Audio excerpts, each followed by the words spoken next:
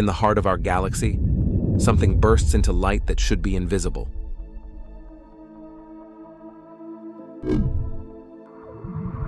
Meet the supermassive black hole at the Milky Way's center. It flickers and flares like cosmic fireworks.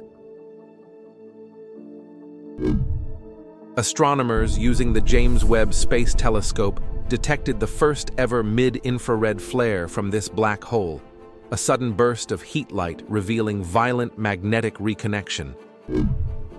When stars collapse, enter the maw of a black hole, or when magnetic fields snap near the event horizon, matter is shot outward. Jets, heat, radiation, the explosion of nothingness. These are the unseen fireworks of space.